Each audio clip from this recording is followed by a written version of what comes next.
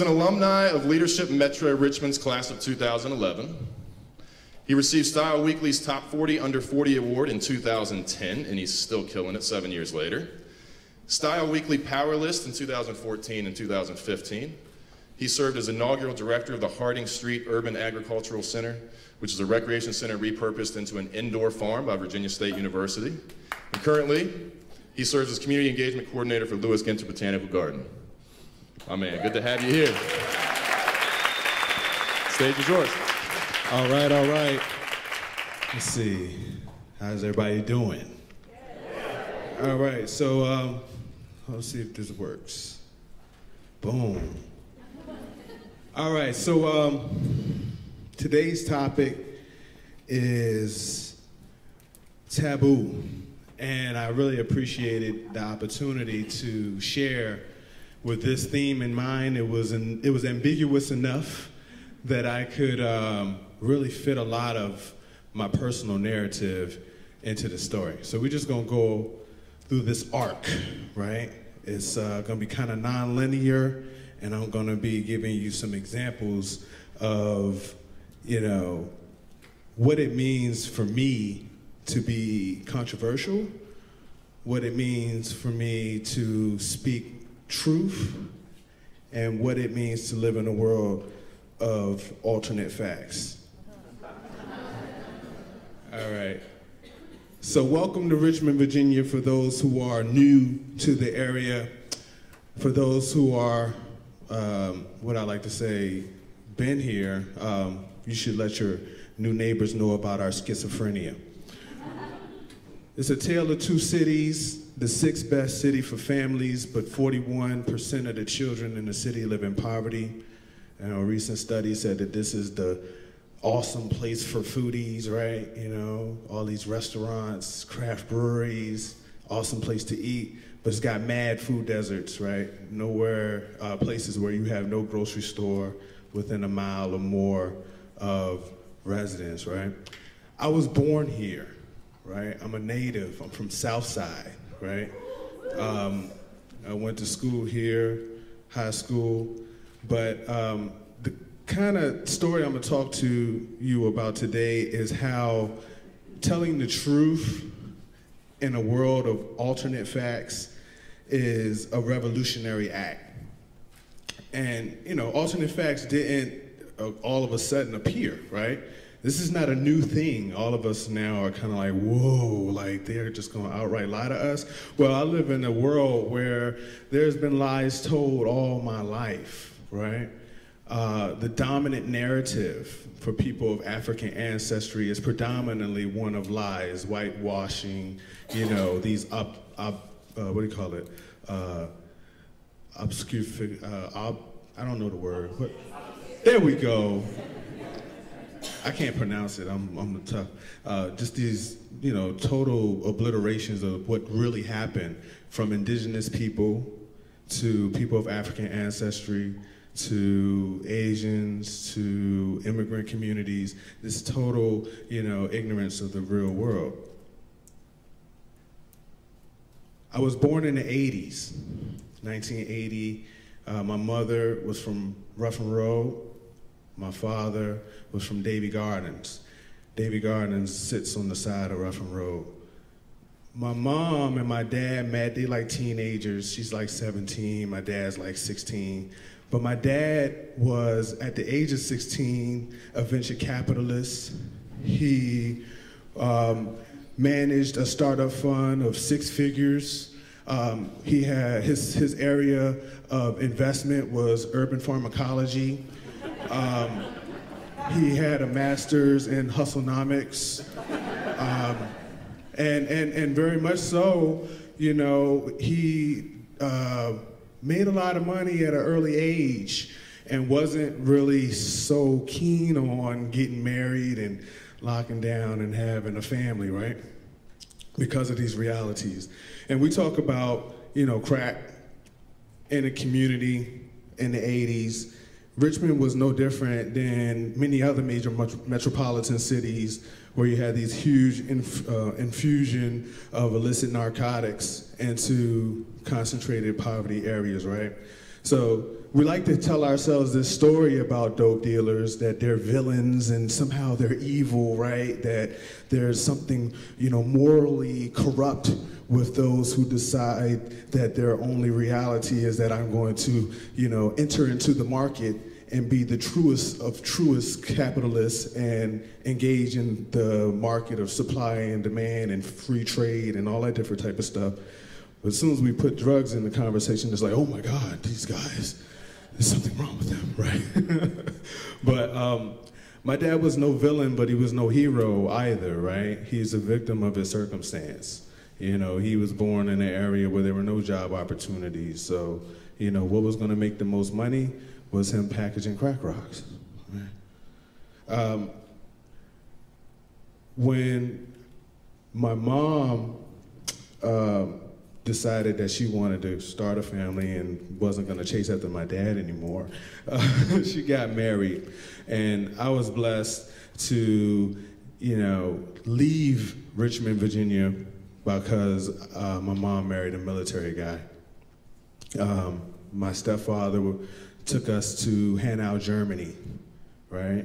And so from the age of four to 12 years old, I lived overseas, right? I went to Department of Defense schools, and I always tell people that Department of Defense invests in their children like they're gonna be the next generals of, you know, the country or what have you.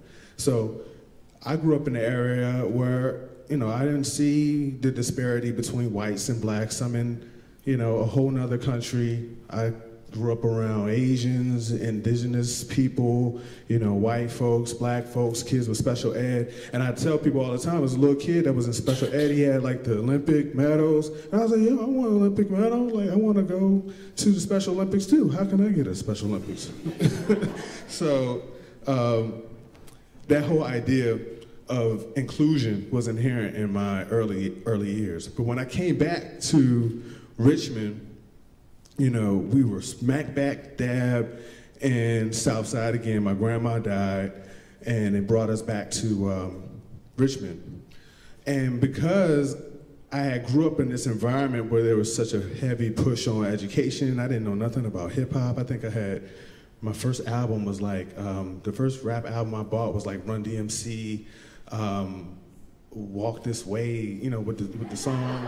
Uh, Mary, Mary, how many of you remember saying, Mary, Mary? I, I bought that album. Uh, uh, but we didn't have TV in, in Germany. There was only one channel, and they played the same thing every day. You know what I mean? So, um, you know, I read a lot as a kid. So I came back to the States, and they were like, yo, you talk white. And I was like, yo, what? Like, I don't understand what is talking white, right? Because I read books, I have a different level of vocabulary. This is me at 12, 13 years old in sixth grade coming back to the States. So this immediate, you know, othering because of, you know, intellectual capacity or what have you was a reality that I faced coming up in um, Southside. And it would be a thing that, you know, would push me into a different direction from a lot of my peers, right? Because I was cool with who I was, but at the same time, you had to acculturate and connect to, you know, your surroundings. Not to mention, again, my dad and his startup capital uh, venture um, made him a very popular guy throughout uh, the city. And so, you know, my little nerdy book reading self, you know, my dad is like the plug for, for all these areas in Southside. So I go to school, and instead of getting picked on, you know, I'm getting like special treatment, like, oh, this is Icky's son, right? Um, I'm riding with my dad, and I'm seeing people's moms that are strung out are my dad's customers, right? So it's a different type of relationship when you go to school and you know somebody mom's addicted to dope, right? They, they don't pick on you the same kind of way, right? it's like, well, you might, you know, divulge what my mom was on the other day. Fast forward, you know, I go through high school. I'm aspiring to be a rapper and all this different type of stuff. Um, you know, I'm smoking a lot of weed. You know, this is just a byproduct of just being in the community, right? Um, around my peers, and our rapping and weed smoke had uh, converged at one night into us going to a block party. And I remember this night vividly. Um, during this time of my life, I was challenging a lot of ideas about religion. You know, my mom, my dad, my mom, when she, my grandmother passed, she made us go to church. I didn't grow up in the church, but she said, hey, you know, I'm getting saved, Holy Ghost Jesus. I'm about to anoint your head with oil, and we're going to church every Saturday, every Wednesday, and every Monday. And I was like, God, no, I don't want to do this. No, no, no, no, no, this is not going to work for me. And because of that resistance, it caused me to read more about Christianity, about Western ideas of religion. So I'm challenging this whole notion, not so much because I want to get closer to God, but because I don't want to go get up on Sunday morning at nine o'clock. So I'm like, you know, why or do we believe this idea that, you know, Adam and Eve and the Bible and all this type of stuff? And I'm reading about Buddhism, and I'm reading about Islam, and I'm reading about metaphysics, and I'm reading about Greek mythology, and you know the Vedas and Bhagavad Gita, and you know I'm engaging in these uh, spiritual conversations with myself as a challenge to my mom's, you know, indoctrination into the Christian church.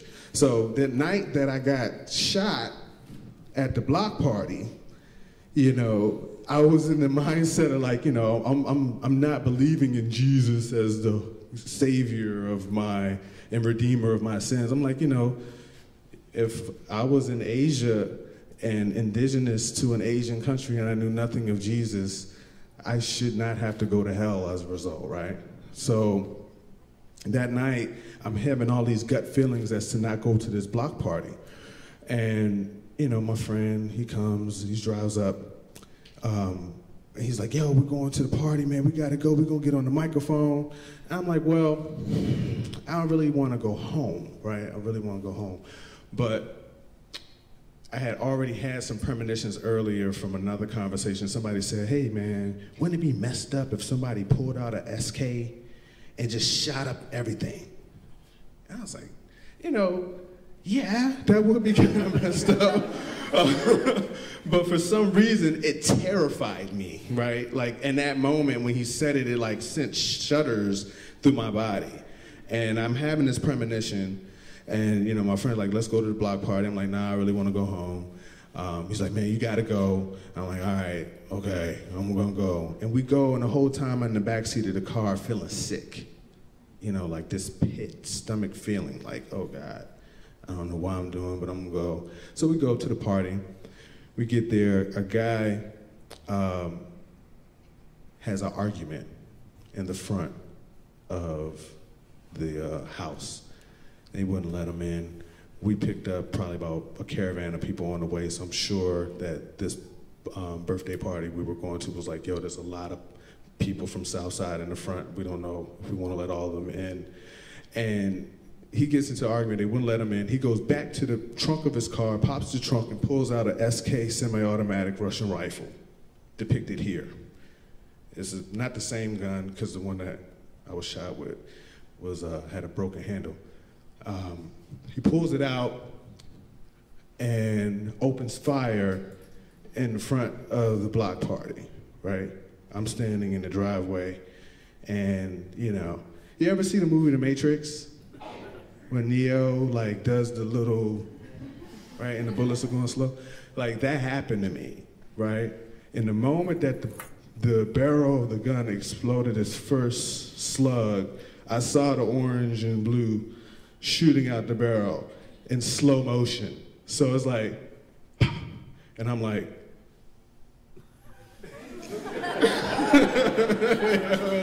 and I started running, right? Um, you know, I didn't know I was shot when I first got shot, but it went through my leg. I got the scars. Went through my leg. I got a, a bullet fragment in my knee, and I got a um, I got hit in my wrist. The night of the shooting was a girl's birthday party. She got shot in the heart, um, and I was in the ER. Um, you know, my friends rushed her to the ER, Chippenham Hospital. I'm in the triage, and I hear the deed, deed, deed for the girl whose birthday it was. And, you know, her mom, oh my God. I mean, the most guttural sound that you can ever imagine.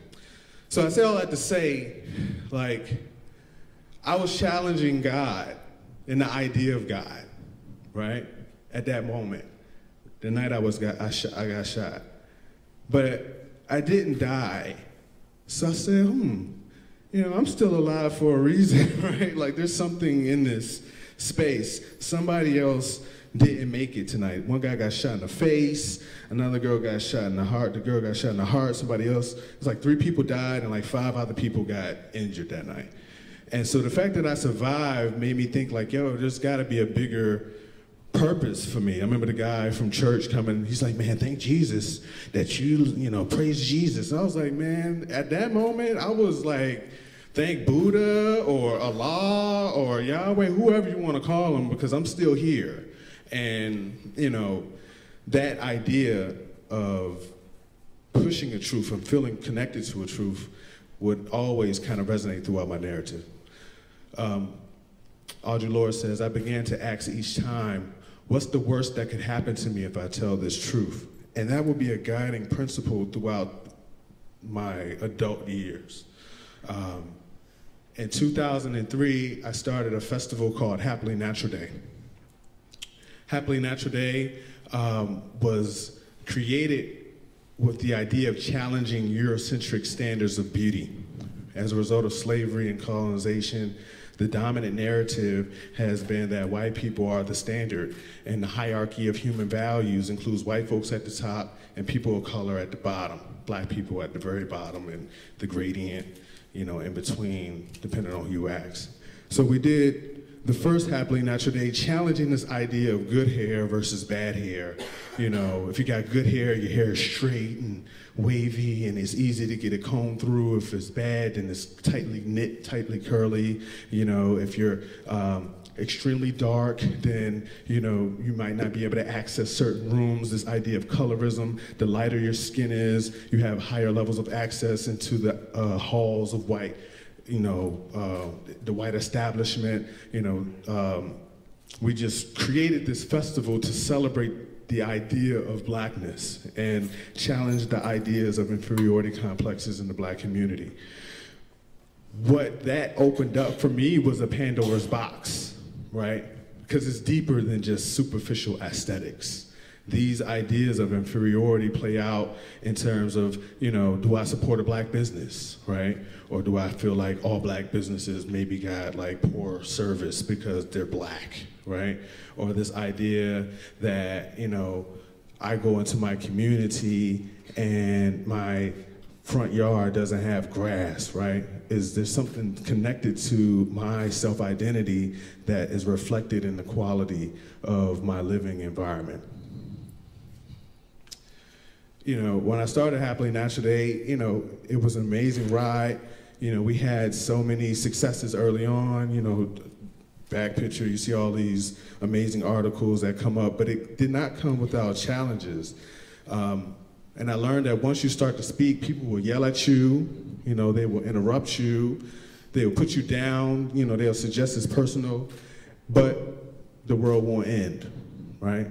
So standing clear on these truths and these principles and these ideas um, would only be undergirded in the face of the adversities that we would um, meet up with.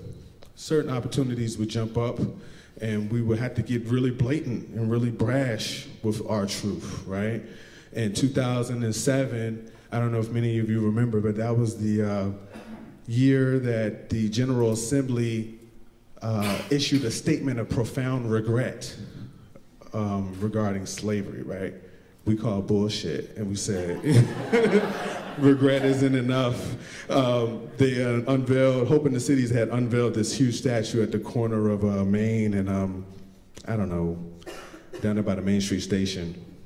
And um, you know, the sea of people like, oh, happy, oh yes, profound regret, and we're going to reconcile, you know, all of the evils of slavery. And I was like, yo, the state assembly just said they, they didn't apologize. They say they regret profoundly that slavery happened. I said, look, man, regret is not enough. put your money where your mouth is, right? And to see a people at the unveiling of the statue, I'm the only person there holding this sign up. and it was so weird because people were like, like you had that picture up, were like this. Little guy, white guy comes up to me, I agree with you. oh yeah. Uh, also that year uh, was uh, the 400 year anniversary of Jamestown, right? So there was a concert that took place at the Sugar Pad, and um, to like commemorate it, right? Um, and we called bullshit on that too. There was um, they had the they had the ships to reenacting to reenact you know the settlers coming into you know Virginia and you know there was a happy engagement with like the Powhatan Indians and everybody had a good time. It's like man, this is a celebration of 400 years of terrorism, right?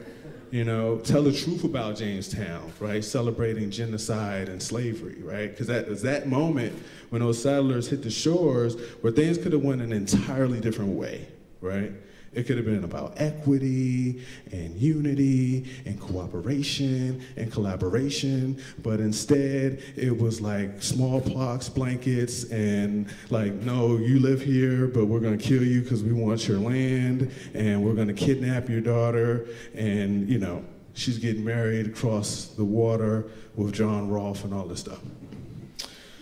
Um, so we took these signs, I made these signs, again, the sign thing. Uh, 400 years of terrorism, tell the truth about Jamestown. We're at the concert with these signs and we had t-shirts on that said, tell the truth about Jamestown. Go Out had like 20, 30 shirts. So as soon as we hit the um, concert, we're giving out the t-shirts. They had the Roots perform at the concert to kind of like make it urban, right? So we reached out to Questlove, right, from the Roots and was like, yo, Questlove. They're trying to put okey doke. They just want this to look like all black people are happy about Jamestown. Like, you know, how can you support? He's like, yo, give me a shirt. So we get a shirt to uh, Questlove. He throws the shirt on. He's drumming with the shirt. And at the end of the show, they, he makes this statement about how the Roots don't, you know, support genocide or slavery, and that you know Jamestown was that moment where things could. It was just illustrious, and then they go into Masters of the Universe. Um, it was just surreal. Um, but the reactions to the sign were also surreal. I had little white guys like, like yeah, yeah. I'm like, what? Like, you know, just because of a sign, like it. We didn't say anything. Just 400 years of terrorism. Tell the truth about Jamestown. I got three minutes. Oh shit. Okay. okay, all right, food access and urban agriculture. Fast forward, we get into the food access conversation, challenging narratives about paternalism, working with the community instead of doing for, shutting down paternalism every chance we got, you know, got tired of seeing, you know, white organizations with the little black kids in the front and, you know, they're giving all the money, all the food to the kids, but ain't no black people in the leadership, ain't no black people on the board, there's no black adult in interaction in the situation at all. We're like, yo, we need to work with the community to empower the community truly and give the people in the community a voice instead of, you know, jumping on the nonprofit industrial complex. You know, um, I built an urban farm, an indoor farm in Southside, right down the street, uh, I mean, uh, Petersburg, right down the street from the crack house, $1.5 million budget. The guy across the street, you know, he was drunk and he was like, yo, you know, I'm now the co garden coordinator right? He's outside. We built an urban far, uh, mini farm across the street, orchard, vineyard, all that type of stuff. Just defying these narratives, like going into the community and having a conversation with the adults. Like, yo, this is what we're gonna do. What's up? Y'all want to get down with the program? Anti-poverty task force got on the citizens advisory board. Uh, push for social enterprise to be localized versus outsourced to some random company out in wherever. Um, the city now has the Conrad Center culinary arts program because of that push. Like I was the lone person in the room that said, hell nah, don't send this contract to some guy in California. You need to hire somebody that knows the local ecosystem, that can understand the relationships and all that, this, that, and the third. And in a weird twist of fate, now I work for Lewis Ginter Botanical Garden. so yeah, this is like a very monochromatic institution. so it meets like this African-centered grassroots activism, right? And the conversation is about how do we work with the community in authentic ways, right? How do we take the truths that have been stifled and pushed to the side by virtue of the dominant culture and engage in the community in authentic ways and say, hey, listen, you know, we don't know your reality, we don't know your story, we don't know your narrative, but your narrative has value and you can determine what needs to happen in your community better than us, right? So Lewis Ginter is in this transformation space where they're looking to expand beyond its walls, but in that expansion is a very deliberate act of working with the community instead of doing for it. And so it's revolutionary to have the number four botanical garden in the country saying that we're gonna go into communities and we're going to empower the individuals to create the change that they see fit, not what Lewis Ginter thinks is the best thing. And so I'm very enthusiastic about that.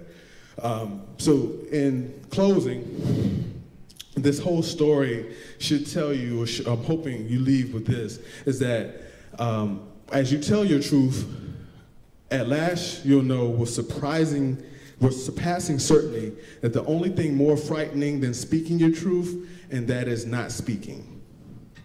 Right? That's been my taboo story. and um, I'm sorry, I thought I had more time, but I kind of got caught up on some points. So let me, uh, there was a lot of, in your narrative there, there was a lot of different themes that stood out to me. Given that in our audience here, we have a lot of folks that are in um, creative kind of roles, they oftentimes are starting a new project or in the midst of a project and trying to figure out where to pivot to next. Um, and they're, they're creating things from scratch, which you've done several times. Um, what advice would you have for them kind of in those moments, in those creative uh, moments? Um, I think that the best thing for folks to do is kind of like, you know, think big and let them tell you, think as big as possible and let them tell you nah, right? Um, and then if they tell you nah, like, you know, ask why not, right? Um, that's been my, you know, personal story. Is like, even if you tell me no, like I really don't need your help. You know, we're gonna do it anyway, but I would like for you to be a part of it. That's kind of like the mindset that I approach all things. Is like, it'd be great if you get down, but if not, we're gonna do it anyways. Maybe not with you, but you know, how does that work? Let's open it up to uh, some questions for some folks in the audience. I see a hand back over there. Good morning. Um, you always Yes. say, you always say the city is schizophrenic. Can you please go into more details about that? Yeah, so capital of the Confederacy, right? Um, African burial ground with like they had a parking lot over top of it up until like five, six years ago, right? Um, Monument Avenue full of these Confederate generals, right? But like the Confederacy lost. so uh, the, the schizophrenia is even inherent into like our conversations about poverty. Like nobody wants to talk about the deliberate acts that created poverty, redlining, you know, the creation of Interstate 95 that destroyed like a thousand homes in Jackson Ward and Navy Hill. Like now we're like, oh, well, what are we gonna do about the poverty? We need to give people jobs. Like, bruh, you killed black businesses, like deliberately. Like people were like, no to the highway through Jackson Ward, and you're like, yes for the highway through uh, through uh, Jackson Ward. So it takes deliberate acts to undo, you know, deliberate, you know, cr- uh, created deliberately created problems. Um, so that's schizophrenia. Like it's like we seem to like not want to look at our history, like through a real historically accurate lens, right? We like to sugarcoat it, and I think that's a part of the schizophrenia. When we reconcile that too, we'll be all right. We'll be all right. Audre Lorde is a womanist um, uh, author, philosopher. Um, she's the author of a ton of books. African American woman who her she's actually um, uh, a queer uh, author. Um, she has a ton of books. I don't want to like. Um, I think you should Google some of her works. Um, her truth telling revolves around the ideas of community, love, self-care, um, uh, human-to-human interactions, activism, right? And she's been an inspiration for you know a lot of my philo- philosophical frameworks. I saw a lot of people today nodding their heads you know, for a lot of what you were talking about because they care about our community so much. They might not know what they can do on a regular basis. So like on a weekly basis or even a daily basis, what are some small things that people can do to help bring some of these truths to life or make a change in their community or volunteer at the right place or do the right thing? Um, you know, when people ask me what they can do, I think the first thing I say is, what do you do, right? What is it that you love? What is it that you're passionate about? What is it that you're gonna wake up at three o'clock in the morning thinking about? You know, what would you do when there was nobody there, right? Um, do that, right? And do that to the best of your ability. Um, in terms of conversation about race and class, you know, um, don't be a dick. I, I work for Lewis Ginter.